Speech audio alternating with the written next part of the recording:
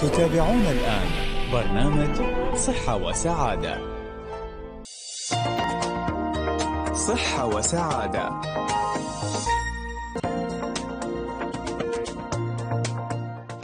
مستمعينا الأعزاء صبحكم الله بالخير والنور والعافية.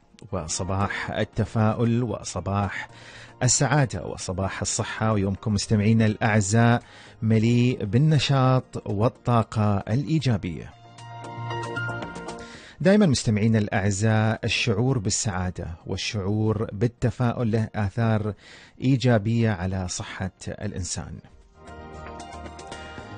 نرحب بكم مستمعينا في برنامجكم الإذاعي اليومي صحة وسعادة اللي تقدم لكم هيئة الصحة بدبي بالتعاون مع مؤسسة دبي للإعلام وعبر أثير إذاعة نور دبي. أرحب بفريق العمل المبدع معايا فريق الإعداد بهيئة الصحة بدبي وفي التنسيق والمتابعة الأخت نجاة السويدي وبيكون معنا في الإخراج مخرجنا المتألق دائما الأستاذ أيمن سرحيل. وأنا محدثكم عبد الله محمد جمعة. ومن خلال برنامج صحة وسعادة دائما مستمعينا الأعزاء أرحب بتواصلكم معنا على الأرقام 600 5514 واحد أربعة وعلى الرسائل النصية القصيرة SMS أربعة صفر صفر ستة.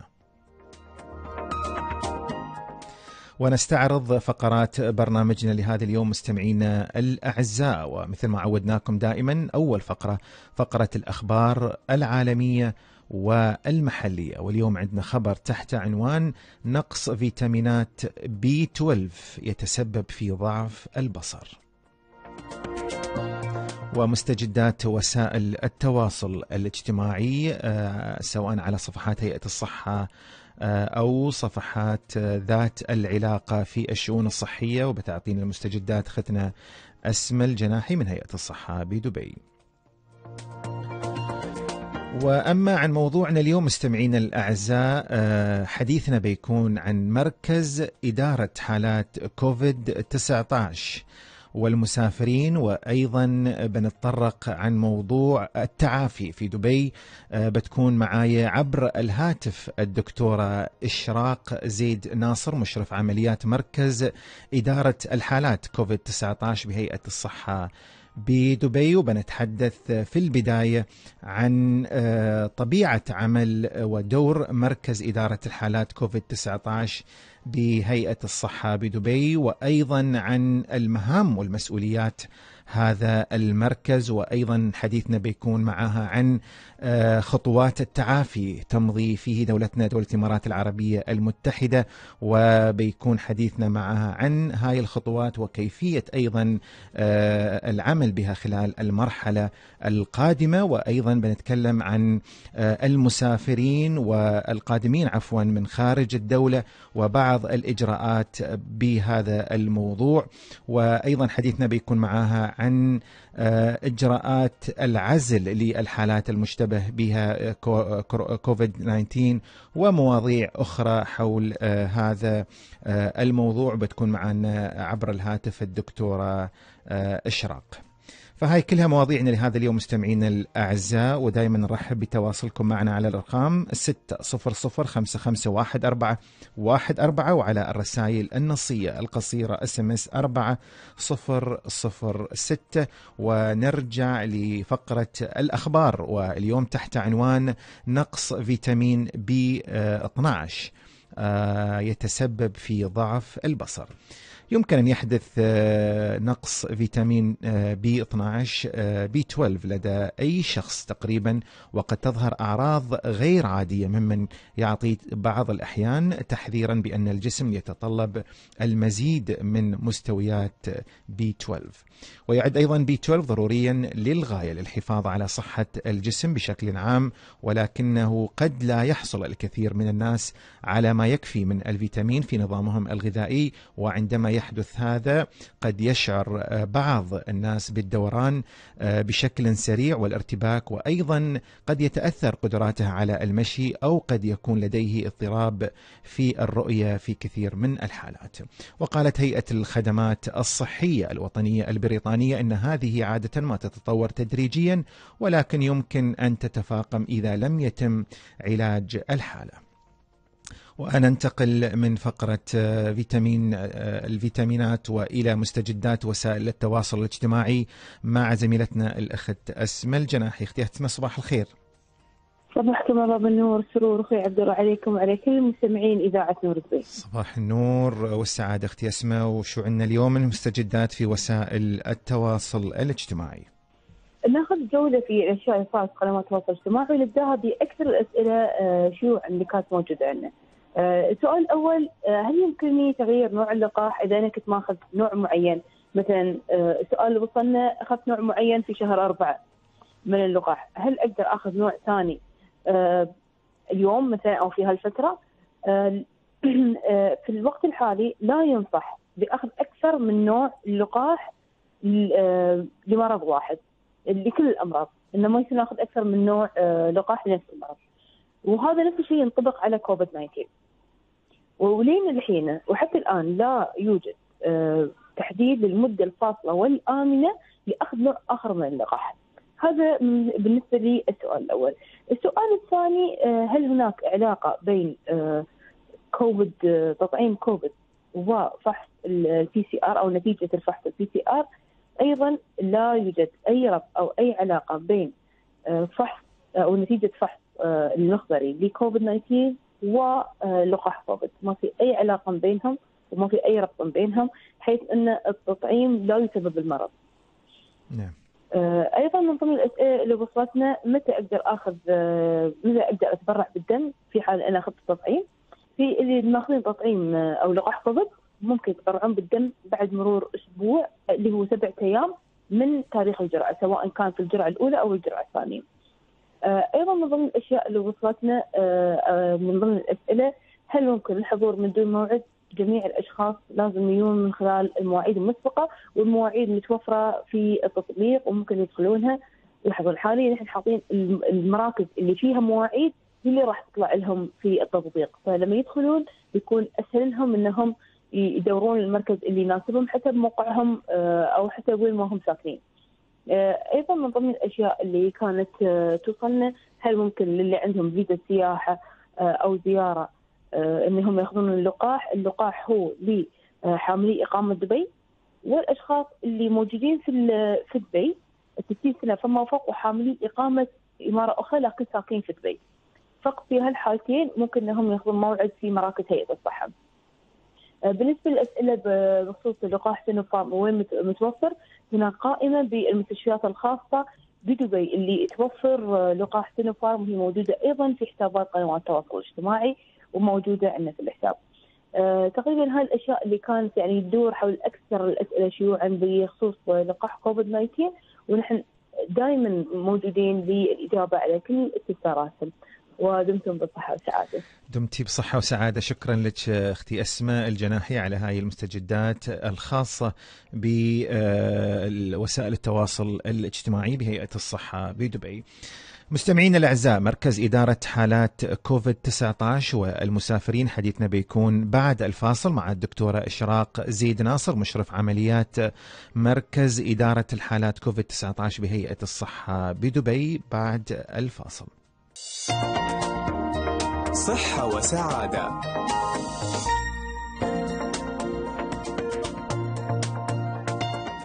مستمعينا الأعزاء مرحبا بكم وسهلا ورجعنا لكم مرة ثانية في برنامجكم الإذاعي اليومي صحة وسعادة اللي تقدم لكم هيئة الصحة بدبي بالتعاون مع مؤسسة دبي للإعلام وعبر أثير إذاعة نور دبي. آه، أرحب بتواصلكم معي مستمعينا الأعزاء على الأرقام 600 5514 14 وعلى الرسائل النصية القصيرة SMS 4006 وننتقل إلى موضوعنا لهذا اليوم. تحت عنوان مركز إدارة حالات كوفيد 19 والمسافرين. تمضي دولة الإمارات العربية المتحدة مستمعين الأعزاء ومدينة دبي بخطوات متسارعة نحو التعافي من كوفيد 19 طبعا وسط إجراءات وقائية متطورة وتدابير احترازية تم اعتمادها لحماية أفراد المجتمع وتعزيز وقايتهم من الأمراض والأوبئة بما فيها فيروس كورونا. آه لي أكثر طبعا مزيد من المعلومات حول هذا الموضوع يشرفني آه أن تكون معي اليوم عبر الهاتف الدكتورة إشراق زيد ناصر مشرف عمليات مركز إدارة الحالات كوفيد-19 بهيئة الصحة بدبي. دكتورة إشراق صبحت الله بالخير والنور والعافية. صبحكم الله بالنور والسرور والعافية.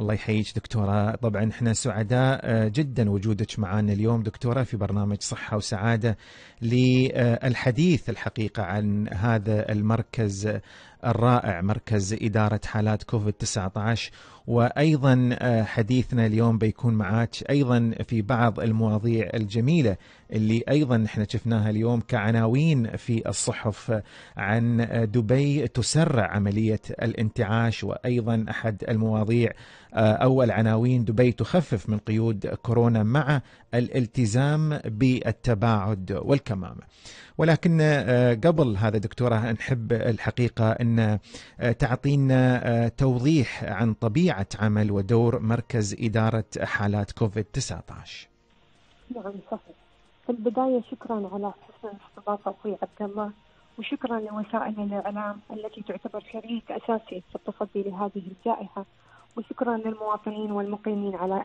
على هذه الأرض الطيبة بجهودهم في التصدي لهذه الجائحة. شكرا لكم دكتورة الحقيقة على عملكم الجبار في هذا الموضوع و يعني العمليات وإدارة الحالات وبالأخص يعني فريق العمل اللي يشتغل معاك دكتورة في هذا المركز. كل الشكر والتقدير لكم أيضا. شكرا لكم. طبعا منذ ظهور وباء كوفيد استجابت دبي باتخاذ تدابير صحية سريعة وفعالة بالهدف الحفاظ على صحة وسلامة أفراد وتم إنشاء مركز إدارة حالات كوفيد في مرحلة مبكرة حيث يعتمد على البيانات والعلوم ليوحد جميع الجهود في إمارة دبي. ووضع استراتيجية للتصدي لهذا الوباء واتخاذ التدابير للمحافظة على حياة الأفراد وتقليل انتشار الوباء بإذن الله.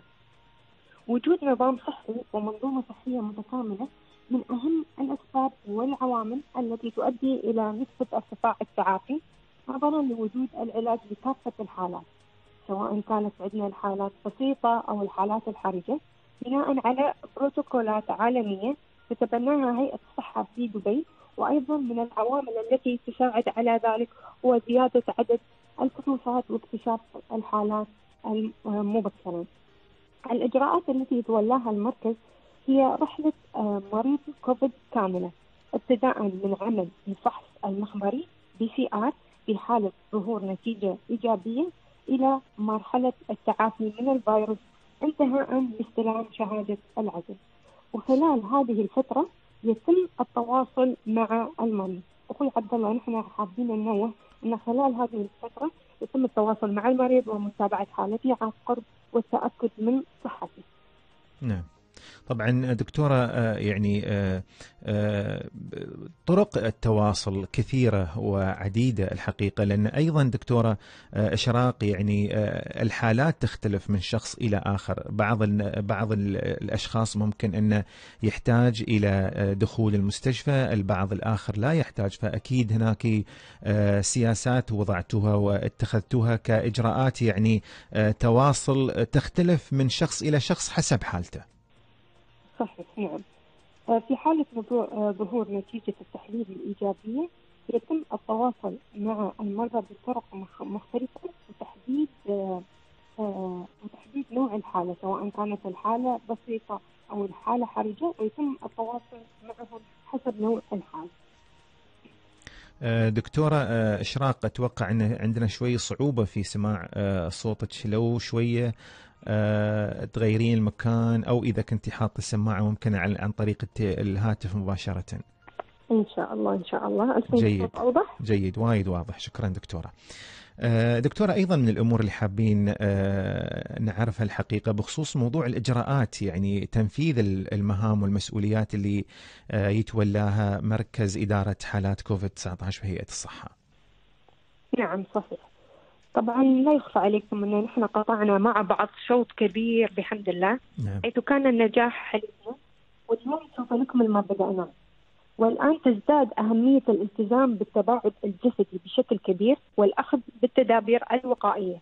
ويعد اللقاح الوسيلة المثلى لهزيمة هذه الجائحة حيث كلما ارتفعت نسبة التطعيم في المجتمع كلما زادت نسبة المناعة وبالتالي كلما اقتربنا من الوصول للتعافي فاكتساب المناعة الجماعية من خلال اللقاح أو عن طريق اللقاح هو الوسيلة الأنجح للقضاء على الفيروس نعم.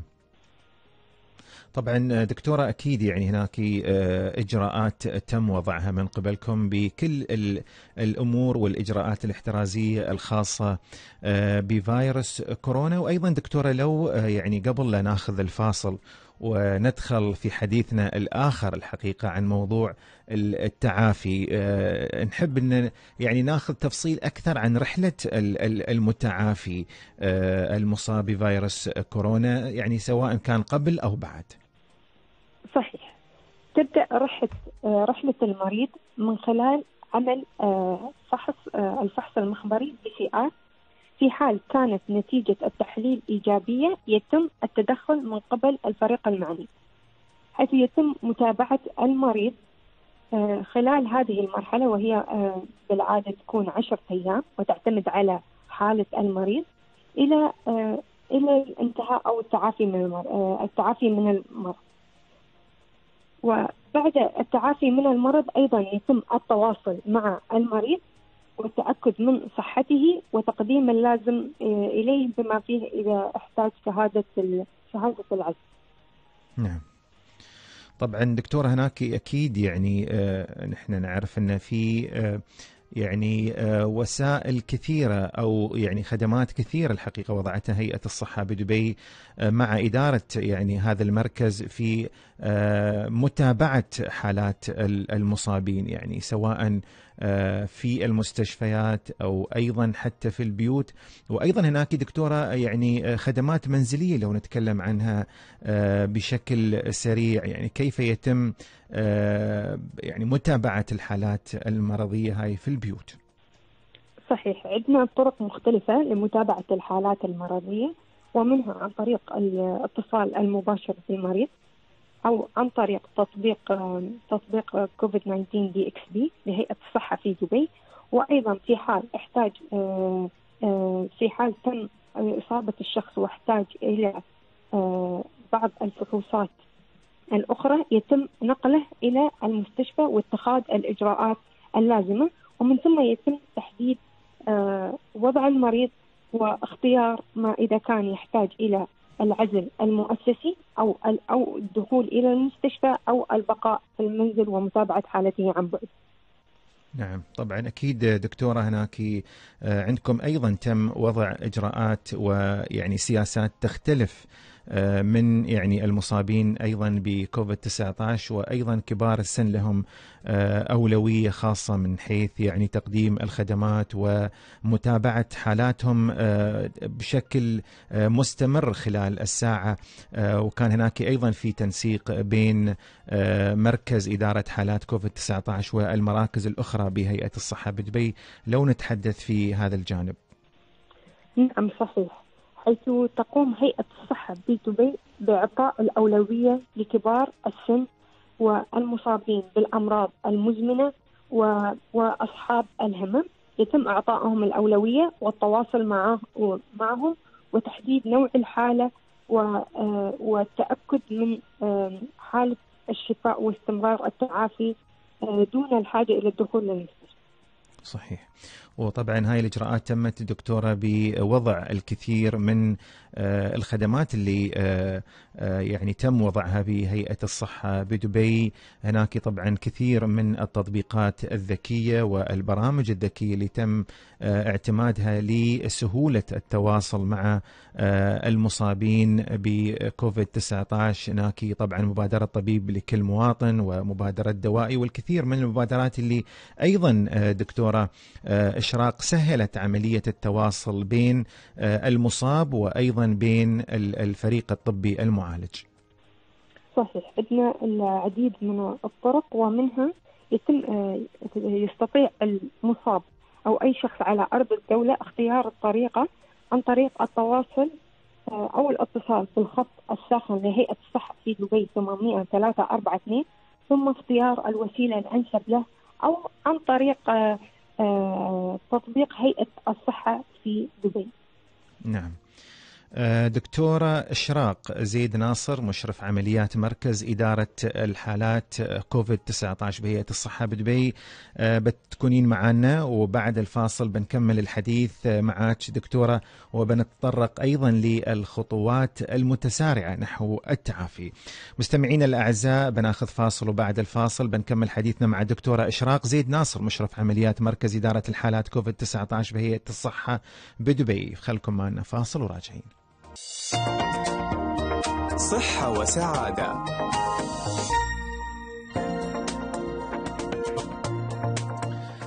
مستمعينا الأعزاء يا مرحبا بكم وسهلا ورجعنا لكم مرة ثانية في برنامجكم الإذاعي اليومي صحة وسعادة اللي تقدم لكم هيئة الصحة بدبي بالتعاون مع مؤسسة دبي للإعلام وعبر أثير إذاعة نور دبي. نرحب بتواصلكم معنا مستمعينا على الأرقام 600 5514 14 وعلى الرسائل النصية القصيرة SMS 4006 ومعنا عبر الهاتف اليوم الدكتورة إشراق زيد ناصر مشرف عمليات مركز إدارة الحالات كوفيد 19 بهيئة الصحة بدبي. وحديثنا مع الدكتورة إشراق عن مركز إدارة حالات كوفيد 19 والمسافرين. مرحبا بك دكتورة مرة ثانية معنا في برنامج صحة وسعادة. حياك الله الله يحييك. دكتورة نكمل حديثنا. آه ومثل ما ذكرنا في بداية الحلقة بأن هناك بعض العناوين الصحف اليوم عن دبي تسرع عجلة الانتعاش وأيضا دبي تخفف من قيود كورونا مع الالتزام بالتباعد والكمامة. طبعا آه، كل خطوة دكتورة من خطوات التعافي تمضي فيه دولتنا دولة الإمارات العربية المتحدة هو مكسبا حقيقيا آه، للجميع. كيف تتم دكتورة مواصلة هاي الخطوات المهمة آه، حاليا نحو التعافي؟ في الحقيقة أخوي عبد الله الجميع خلال هذه المرحلة كان على كفاءة عالية. جميع الفرق ساهمت بالعمل بروح الفريق الواحد. نعم. ولم يتخلى أحد عن واجبه أو يبتعد خوفا من الباقي والآن سنكمل ما بدأناه بإذن الله عن طريق تكثيف الفحوصات والتوعية آه، آه، بأهمية آه، اللقاح لننتصر معه. جميل. دكتورة أيضا من الأمور آه، المهمة اليوم وتماشيا مع سياسة الدولة آه، بموضوع يعني آه، خطوات التعافي أو الخطوات المتسارعة نحو التعافي من كوفيد 19 حابين أيضا نتكلم معك دكتورة عن موضوع المسافرين بالنسبة للقادمين عفوا من خارج الدولة.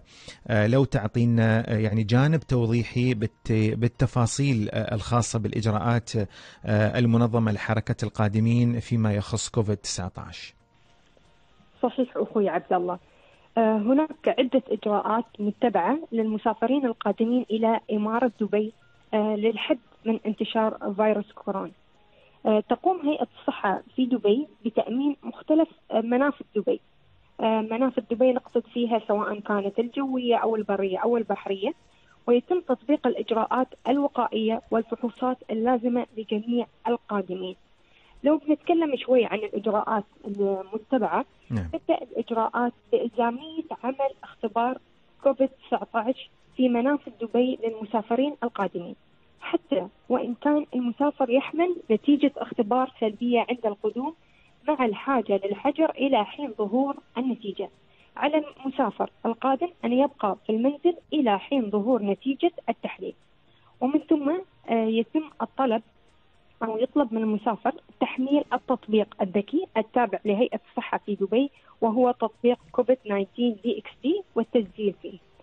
بعد ذلك في حال كانت نتيجة الفحص سلبية مع عدم وجود أعراض يتم انتهاء فترة الحجر ولا يبقى المسافر لمدة عشرة أيام في حال كانت نتيجة الفحص سلبية مع عدم وجود أعراض يتم انتهاء فترة الحجر أما في حالة كانت نتيجة الفحص إيجابية لا سمح الله يتم متابعة الحالة من قبل فريق إدارة حالات كوفيد 19 واتخاذ الإجراءات اللازمة للمصاب وتوفير خيار العزل أو التحويل للمستشفى حسب الوضع الصحي والأعراض الأعراض أعراض المصاب.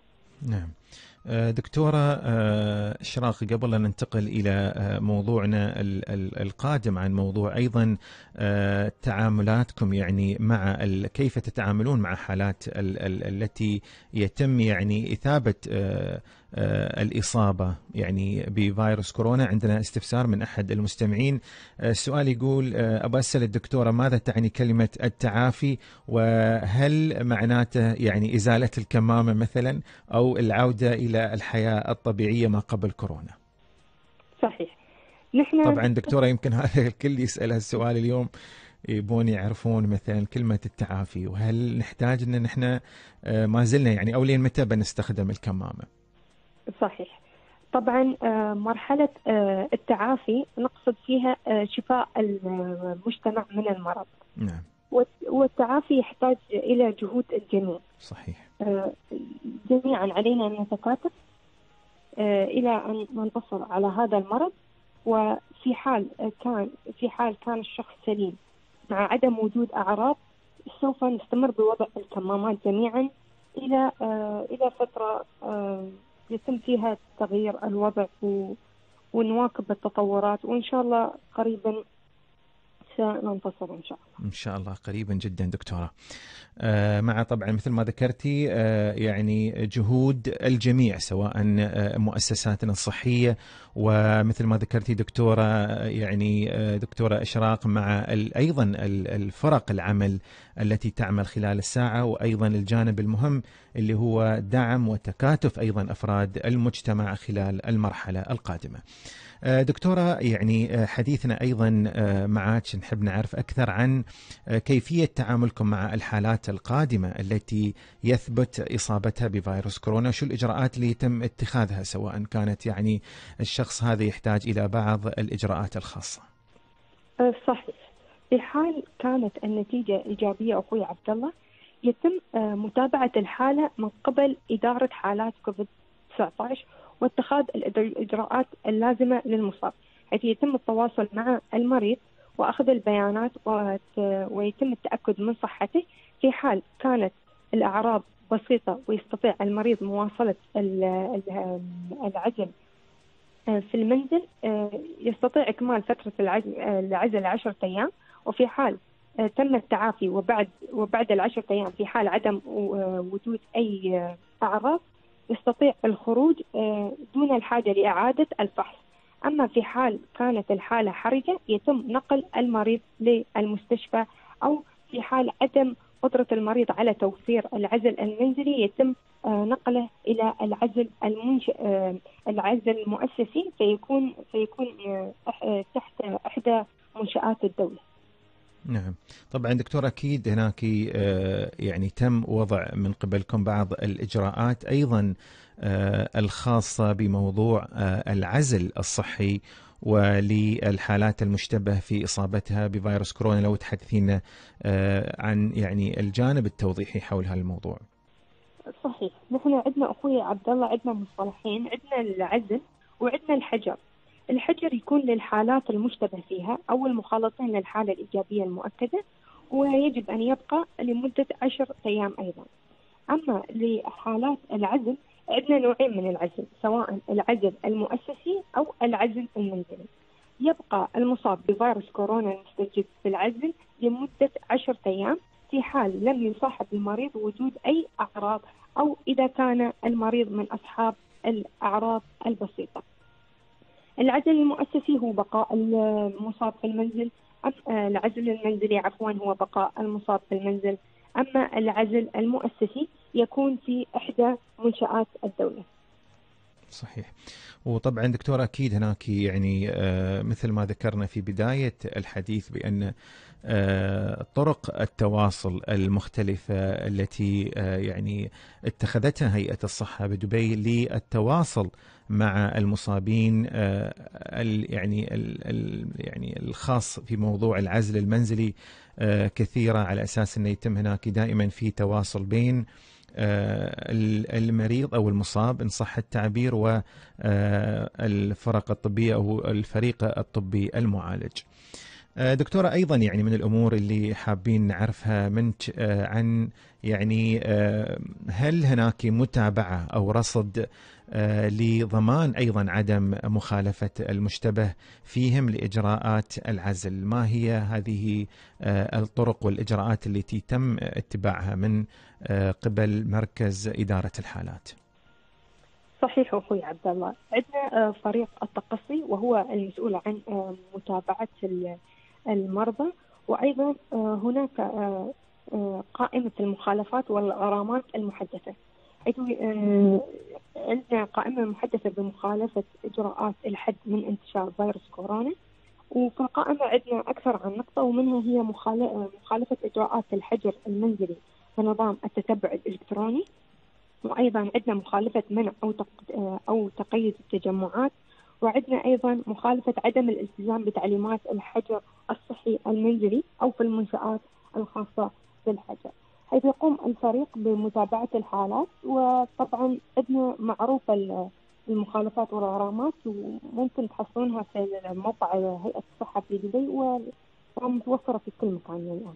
نعم طبعا دكتور أكيد كل هاي الإجراءات والسياسات تم آه، نشرها في آه، المواقع الرسمية لهيئة الصحة بدبي وذلك ل آه، يعني معرفة الناس بالنسبة للإجراءات الخاصة بموضوع المخالفات المشتبه بهم أو بعض أيضا الإجراءات الخاصة بالاجراءات الوقائية والإجراءات الاحترازية الخاصة بفيروس كورونا.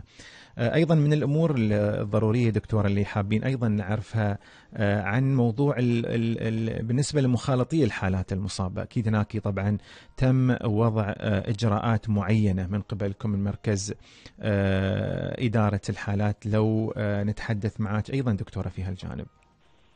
صحيح. عندنا أخوي عبد الله اللي هو تقصي الحالات المخالطة. الشخص المخالط هو الشخص الذي يخالط الحالة الإيجابية المؤكدة ويكون على مقربة منه بمسافة مترين أو أقل لمدة 15 دقيقة أو أكثر. في هذه الحالة يعتبر الشخص آه، مخالط بحالة إيجابية مؤكدة.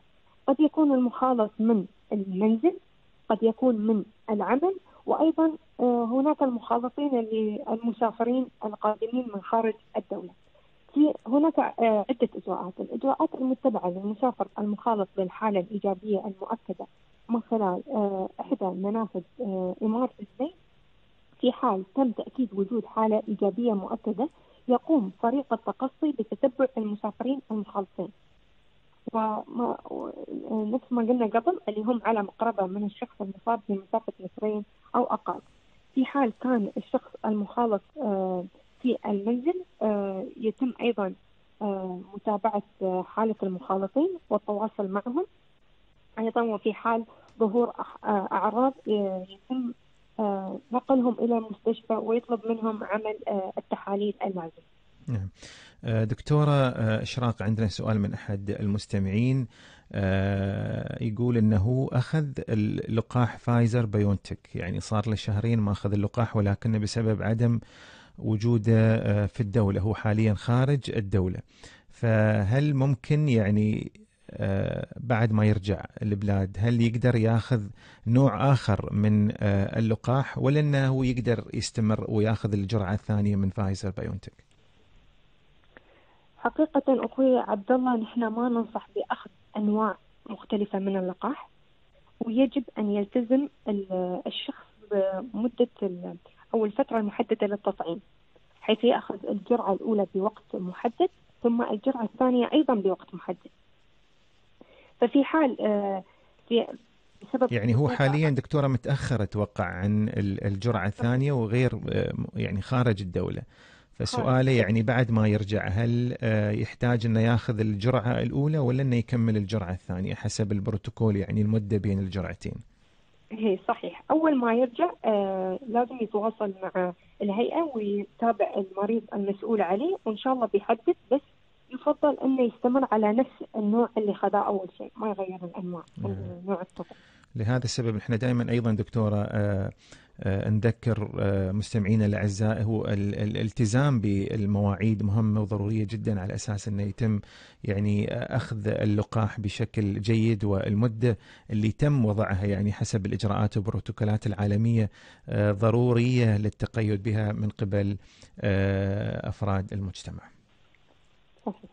دكتورة لو نتحدث أيضا يعني معك عن بعض الإجراءات الخاصة بمركز آه، إدارة آه، حالات كوفيد 19 آه، اللي تتعلق ب يعني القادمين للدولة يعني بما يخص الإجراءات الوقائية والاحترازية يعني ذهابهم إلى أماكن السياحة في في في الإمارة سواء المراكز التسوق أو الأماكن الأخرى. طبعا يعني مع الأخذ بال آه، الإجراءات الاحترازية والوقائية الخاصة بفيروس كورونا. صحيح أخوي عبد الله. طبعا أخوي عبد الله آه، في حال وصول المسافر إلى إمارة دبي آه، سواء كان عنده فحص من قبل أو في حال ظهور نتيجته كانت النتيجة سلبية يتم عمل فحص آخر في إمارة دبي للتأكد من حالة الشخص القادم من خارج الدولة. ومن ثم يطلب من الشخص آه، المسافر آه، البقاء في المنزل إلى حين ظهور النتيجة لماذا؟ للتأكد من عدم وجود آه، الفيروس. وبالتالي سنحافظ على سلامة الشخص وسلامة المجتمع. في حال كانت النتيجة سلبية يستطيع أن يواصل حياته الطبيعية ويستطيع الخروج. أما في حال ظهور النتيجة إيجابية في حال كانت نتيجته إيجابية يتم التواصل معه وتعريفه آه، بفترة التعافي وتوضيح الإجراءات المتبعة حسب قوانين دولة الإمارات العربية المتحدة. نعم. آه، أيضا دكتورة عندنا سؤال من أحد المستمعين عن موضوع ال وقت العزل المنزلي. فهو يقول انه صار له تقريبا أسبوع ومصاب آه، بالفيروس ولكن آه، ما عنده دكتورة أي أعراض لا يعني الأعراض الخاصة بالفيروس. فهل آه، سؤاله أنه يستمر لمدة 14 يوم أو البروتوكولات عفوا الحديثة اللي هو 10 أيام للوجود بالمنزل أو العزل المنزلي؟ صحيح أخوي عبد الله بس نحن حابين نوضح أن أكثر الحالات المصابة ما فيها أعراض. لا يكون ما فيها أعراض صحيح. ما يكون عندهم أي أعراض وتكون آه، يعني الحمد لله يعني تكون أمورهم طيبة ما عندهم أعراض. ففي هذه الحالة نحن نطلب من الشخص البقاء في المنزل لمدة عشر أيام كاملة. نتأكد آه، بس نتأكد أن آه، الجسم ما يحمل الفيروس. وأيضا خلال السبع في اليوم السابع إلى اليوم العاشر تقل حدة الفيروس.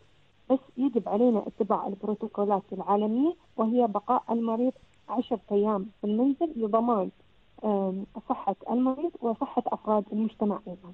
نعم.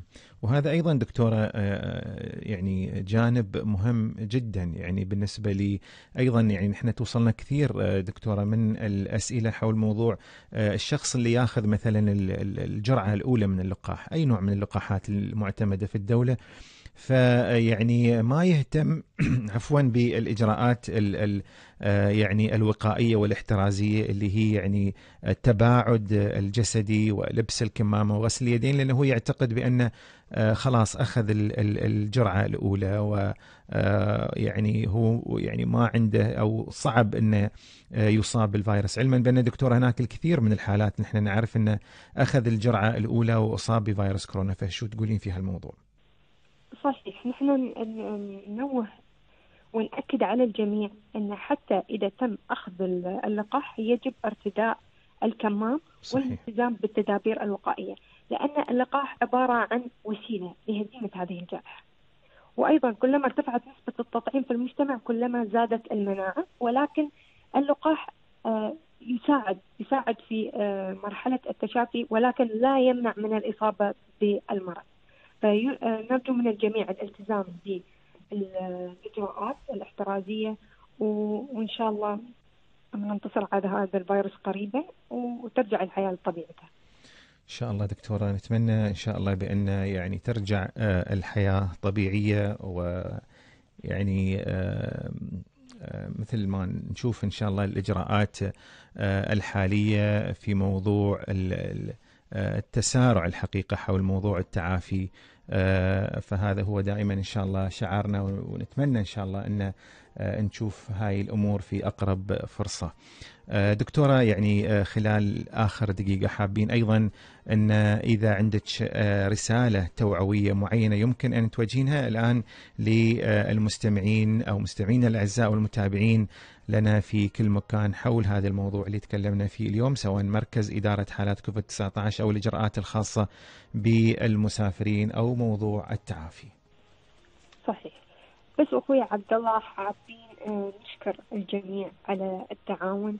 وأيضا لا ننسى أن نحن قطعنا شوط كبير الحمد لله. واليوم إن شاء الله بنكمل ما بديناه والآن تزداد أهمية الالتزام بالتباعد الجسدي بشكل كبير. وأخذ التدابير الوقائية ويعد اللقاح هو الوسيلة المثلى لهزيمة هذه الجائحة. وأيضا آه إن شاء الله نحن قاعدين نقترب للتعافي. وإن شاء الله نصل لمرحلة اكتساب المناعة الجماعية من خلال اللقاح. وسوف نستمر. وكما كان الجميع على كفاءة عالية جميع الفرق ساهمت بالعمل آه، بفريق واحد. إن شاء الله اليوم بنستمر وإن شاء الله بنعدي هذه المرحلة معا. إن شاء الله. دكتورة آه، إشراق زيد ناصر مشرف عمليات مركز إدارة حالات كوفيد 19 بهيئة الصحة بدبي. شكرا دكتورة إشراق لك وشكرا لفريق العمل آه، المبدع معك الحقيقة وعملكم آه، الجبار حول موضوع إدارة حالات كوفيد 19 وأيضا عملكم المستمر والدائم حول موضوع أيضا يعني الإجراءات الوقائية وتثقيف أفراد المجتمع عن الإجراءات الوقائية الخاصة بفيروس كورونا. شكرا أخوي عبد الله وشكرا لطاقتك شكرا لك دكتورة. مستمعينا الأعزاء آه، وصلنا إلى نهاية حلقتنا لهذا اليوم. بعد حديثنا مع الدكتورة آه، إشراق عن مركز إدارة حالات كوفيد 19 وكانت الإجراءات الخاصة بالمسافرين والواصلين إلى دولة الإمارات العربية المتحدة. أتمنى إن شاء الله أن الحلقة قدمت لكم معلومات علمية وصحية مفيدة وهذا هو دائما مستمعينا الأعزاء نهج هيئة الصحة بدبي نحو مجتمع أكثر صحة وسعادة. أحب أني أشكر فريق العمل المبدع كان معي اليوم فريق الإعداد بهيئة الصحة بدبي وأيضا في التنسيق والمتابعة الأخت نجاة السويدي وفي الإخراج كان مخرجنا المتألق دائما الأستاذ أيمن سرحيل وتقبلوا تحياتي أنا عبد الله محمد جمعة ودمتم جميعا بصحة وسعادة. صحة وسعادة بالتعاون مع هيئة الصحة بدبي.